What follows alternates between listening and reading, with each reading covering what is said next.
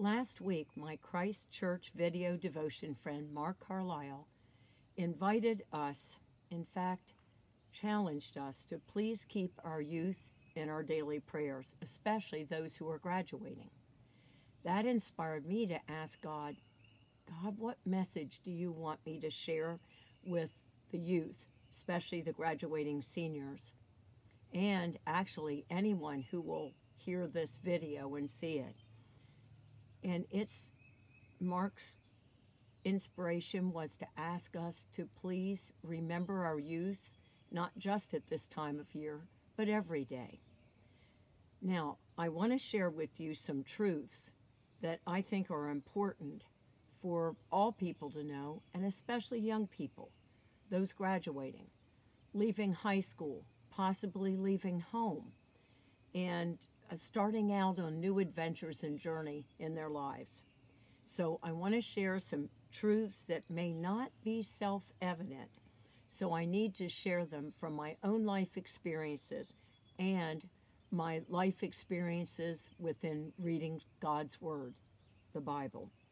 Sometimes the best lessons I've learned in my life have been when I've been in the school of hard knocks. The first truth I want to share with you is that God is always with you and all of God's creation. 24 hours a day, seven days a week. God is never napping, sick, or on vacation. I often forget, though, that God is right here beside us, closer than our next breath, and not way up in the sky, far away from us. You and I can always count on God to be near, even when we don't feel like God is near. We've got to be careful because our feelings can be our least reliable source of information because it can be affected by all kinds of things physical conditions, um, all kinds of things.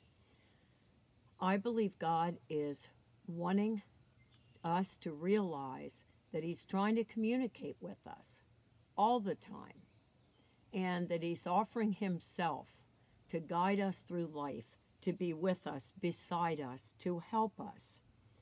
Unfortunately, I think, humanly speaking, we get distracted by a lot of life's minutiae those things that really aren't that important. When we're needing help from God, all we need to do is pray, God help me, or just plain help. And after God helps us, because I know God will help us, we do need to say, Thank you, God. In Deuteronomy chapter 31, verse 6, the, uh, Moses wrote this that the Lord said, Be strong and of good courage. Fear not, nor be afraid of them. For the Lord thy God, he it is that goes with you. He will not fail you, nor forsake you. And then in the New Testament, in Hebrews chapter 13, verse 5, the author of Hebrews wrote, The Lord has said, I will never leave you nor forsake you. You see, you and I can always count on God to be with us, especially close to us in times of trouble, heartache, problems, and challenges. The second major truth I want to share with you is that you can always count on the Lord to fulfill all his promises.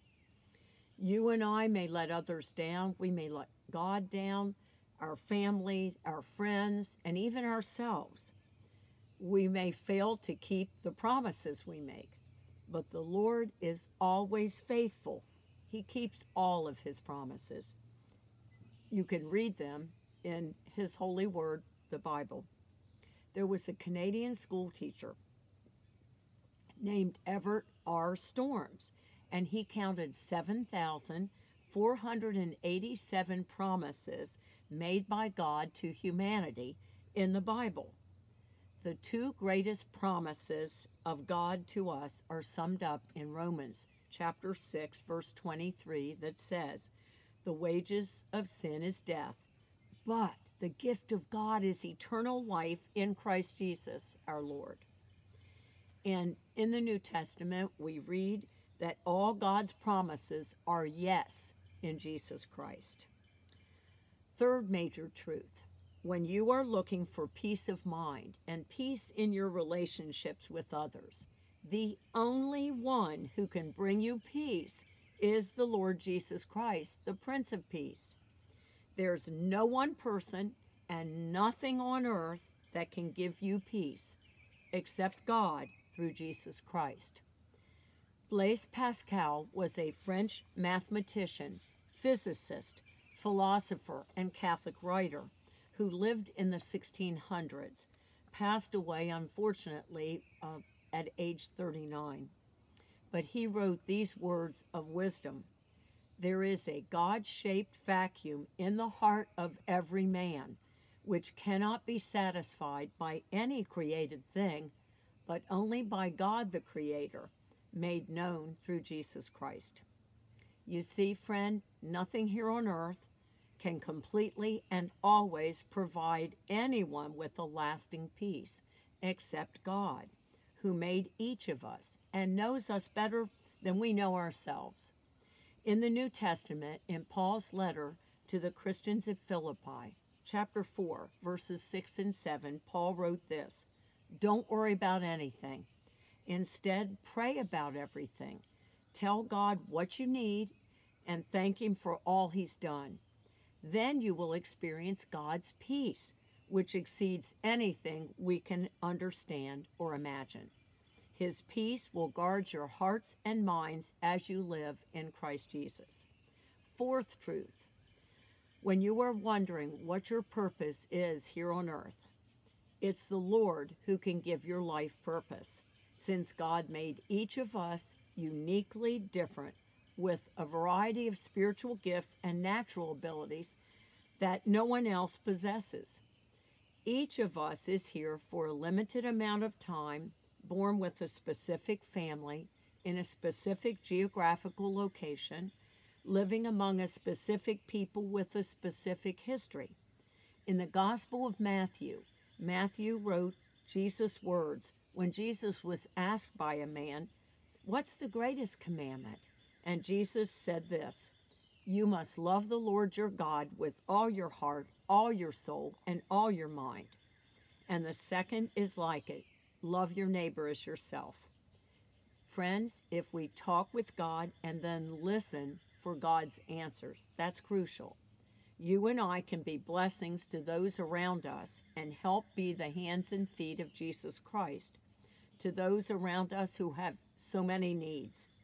God blesses us so that you and I can be blessings in the name of Jesus Christ to our neighbors, whether next door or far away. The fifth major truth the Lord gives us power to live life to the fullest. One of my favorite verses is Paul's letter to his son in the ministry, to Timothy, the second letter, chapter 1, verse 7, where Paul wrote this God has not given us a spirit of fear, but of power and or rather of love and power and a sound mind. You and I do not possess a power apart from God.